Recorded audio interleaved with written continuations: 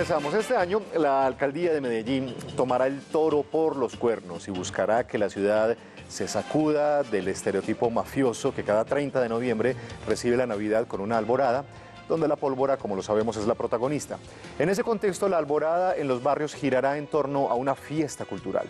Llegará con actividades artísticas a todos los barrios donde se han registrado los lesionados por pólvora y realizará un concierto de Navidad en pies descalzos. Y a eso hay que sumarle pues una agenda navideña para todos los gustos.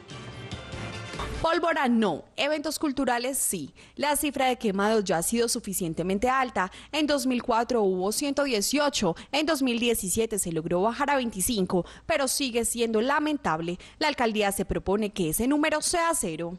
Tradicionalmente mm, ha existido algo de lo cual no nos, no nos eh, genera orgullo, que es esa famosa alborada, pero alrededor de la pólvora. Lo que le queremos proponer a la ciudadanía, lo que queremos invitar a nuestra gente, es a que generemos una alborada cultural y artística.